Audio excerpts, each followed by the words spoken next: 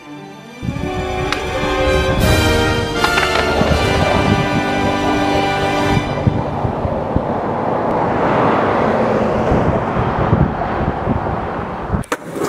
guys, so I didn't want to say it, but I quit skating for scootering.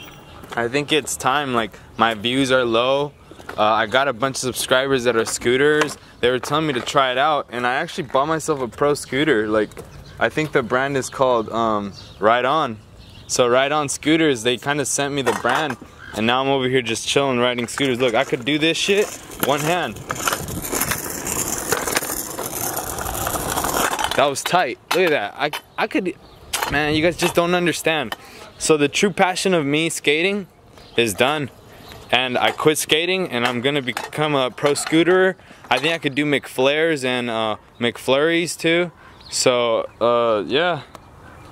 Later, guys. And if you're still a subscriber, you'll see you'll you'll see the new content with pure scootering involved and I think it's exciting I think it's an exciting beginning so just enjoy it.